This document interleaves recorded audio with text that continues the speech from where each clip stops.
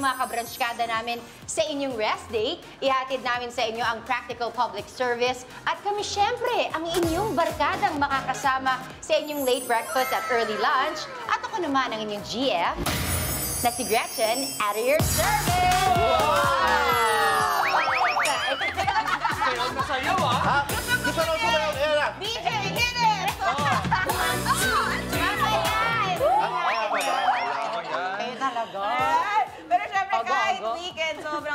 energy natin dahil walang day off. Ang mga tips na hatid ng ating real-life experts na always to the rescue sa Life Guru. At ako pa rin, ang inyong Mayor Francis, Poodle Queen with a heart. Ay, ay, ay, ay. Bro, bro, sakay na!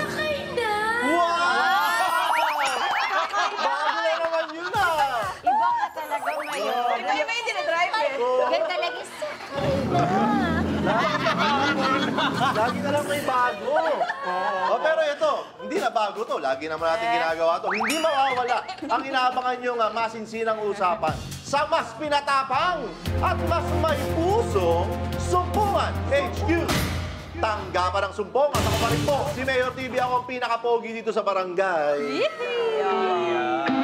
Bago. Lax naman. Yeah. Akala ko sasabihin niya kanina, eh, wala namang bago, ako naman yung pogi dito. Kaya ko na, may pasok. Ay, pasok na sa'yo. Ano sa'yo? Ah! Man, ano na, believe na, believe na. Believe na. Oo. Oh, eto, bibilib din tayo kasi dito, bibigay tayo mga impormasyon na dapat alam mo mula lunes hanggang sabado, dito lang yan sa... Eto na nga! Naku pa rin si Quiz Tristan ang inyong quiz. Next Oy, door. ayan na, may tao. Sinaraduhan bahay ko to! Ako yung pumapasok. Sinar sinarado na siya. Hindi ko alam dito, may tataulo na yun. Hindi. Hindi, kasi daw hindi siya makasiksik. Oo. Sa pinto, kaya sinara niya na lang. Oo. Kaya tayo na nga, siksik at di Apaw na good vibes at practical public service ang hatid ng kabranskada nyo mula lunes hanggang sabado. At ako po si Abby, ang inyong barangay Hey! Yay!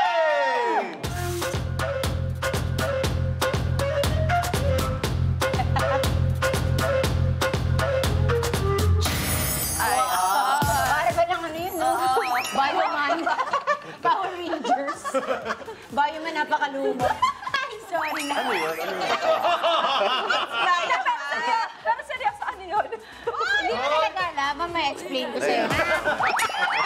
Okay na mga kabranchkada, manood na po kayo at manalo saan man sa mundo dahil pie is everywhere! Ayan po, i-rescan na lang po ang inyong mga DTT boxes para ma-access ang Pie channel sa mas pinaganda at mas pina-exciting na viewing experience. Magpunta lamang po sa pie.com.ph slash Ayan, at habang iniintay natin ang, ang exciting part na yan, huwag kayong mag-alala. Tuloy-tuloy nyo pa rin kaming mapapanood sa ating uh, official YouTube channel na available pa rin worldwide!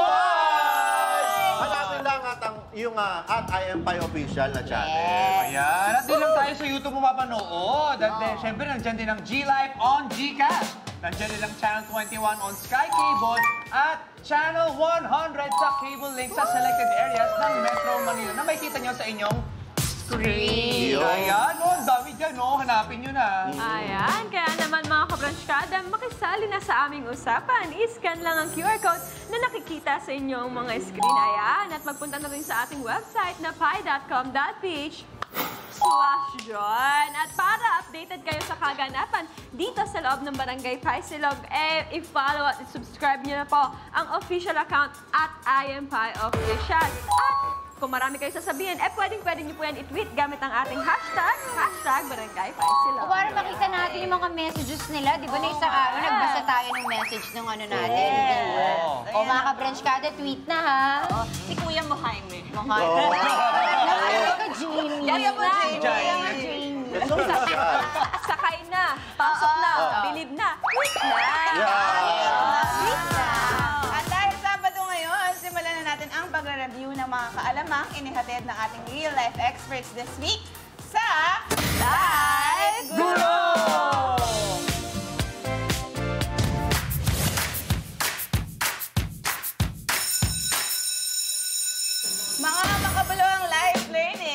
Tips and tricks na ating natutuhan mula sa ating mga life guru ang ating babalikan. Kaya tara! Dito na!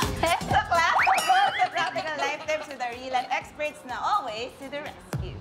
Kaya simulan natin yan sa ating live guro noong Monday. Dating student na araw-araw nagko-commute mula QC to Bulacan. Ako, napakalayo, nakakapagod. Tapos traffic. Nako, naranasan na raw niya ang magsakay, ang magsakya, ang sakyan, ang lahat ng mode of transformation. Ito yung pinapanood natin para lahat ng Transportation. transportation. Mode of transformation. Baka kasi Optimus Prime yung sinakyan mo. Kasi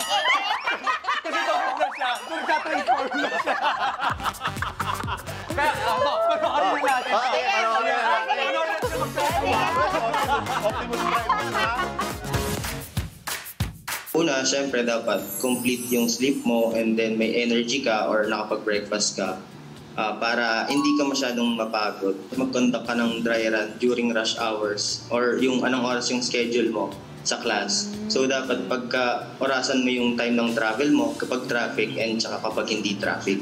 Pag-consider sa financial ah, expenses mo, ah, katumbas nun yung convenient na ginagawa mo sa uh, everyday na routine mo going to uh, school or sa office. Mas safe kasi talaga uh, based on news na napanood ko sa likod ng driver. So kasi sa likod ng driver just in case na uh, i-drive nila or may something na accident na mangyayari. Knock Siyempre, gagawin nila or ikakabig nila yung sasakyan dun sa safe, sa, sa safe na uh, hindi sila makaharm yung driver. Kasi sila yung nagdadrive. For example, pagka nawalan ka ng pera, matuputan ka or what, yung siguro separate mo na lang yung wallet mo dun sa mismong pamasahe mo. Para just in case mawala yung wallet, may pamasahe ka pa rin makuhaan. Gamitin mo yung ah, yung public utility vehicle na ah, mas cheaper Ayun. Lapid, ang ating life guru na certified commuter. Oo. QC to Bulacan, no? Kayo Hindi ka ba- pa naman mag-expert, no? Oo. Ba't hindi ko magta-transform nun ah? Pero naalala niyo ba, ako nakikinig kayo sa eto na nga natin, di ba pinag-usapan natin na yung volume dun sa mga main thoroughfares kasi 400,000 yung dumadaan araw-araw Oh. ayon sa MMDA. And ngayong November and December, dadagdag pa yun ng 20%. So that's another 80,000 vehicles. So abangan na natin talaga na grabe ang traffic ngayon, napapalapit na po ang Pasko. So, Ano, meron din tayong mga kabranchkada na matagal hindi na-commute. Kasi two years na sa Pandemic. bahay. Oo, so baka nakalimutan na kayo, nila. ah. Ano ba yung mga galawan ngayon sa pagko-commute? Ano ba yung mga tips na naalala mo kay Life Guru? Ay, ang sabi niya, i-adjust mo yung oras ng alis mo para ma-achieve mo yung gusto mong oras ng dating. meaning agahan mo pa. Oo. Alam mo na naman traffic eh, Oo. tama, no? Oo. Parang gano'n. Abby, meron ka bang natutuhan kay Life Guru? Nung time din, wala din ako, pero... At least sinaming Or baka may Wala rin naman. Oo, sila yan. Oh, sinewa umaga. Yeah. ano na natin yung Hindi, pero isang malaking tip talaga is siguraduhin may sapat na tulog pag Correct. bumabiyahe. Kasi makakalimutan mo, bumaba dun sa, sa, sa tamang babaan. May time na naka-round trip na ako ng jeep. Oo. Talaga? Wala na, alam na ng nanay ko. Nakatulog ka? Nakatulog kasi ako. Tita, oh, auntie, oh. Pero at least, para kang nakatipid sa pamasahe ko.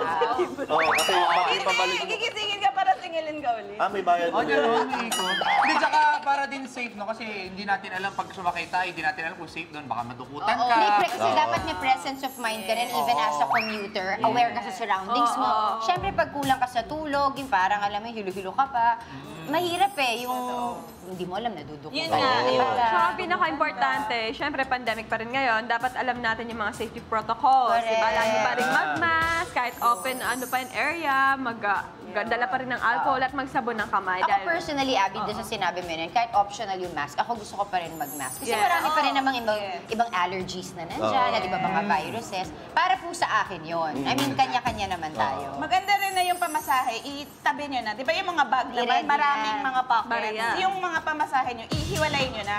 Kasi kadalasan, pag nilabas nyo yung wallet nyo, pwedeng may malaglag. Mahulog. Takaw-nakaw. Kasi pag Yes. nakita nila, oh my God, daming pera nun. Yeah. Sundan ka na. Oo. So at least, Pag- pagkuha mo, Oo, yun na Yun yun. na yun. Ano ba ba yung mga ibang tips? Basta ako natutuwa ako na kayong tatlo yung wala nun, pero kayo yung tatlo yung dagdag ng dagdag. Siyempre, kami pa ba? Sa knowledge! Iba talaga. Baby bass! Audience lang kami ni Tristan. Kami, yun- kami yun nandun. Ay, nako. Ayan, Ito na. tumunog na naman ang bell. Ibig sabihin, tumahimik muna kayo, mean girls. Hindi, ibig sabihin niya, recess muna tayo at break muna sa ating reviewan. Oo, kasi ang dami pa nating topics sa pag-uusapan. Saan pa babalik yan ng... Live Guru!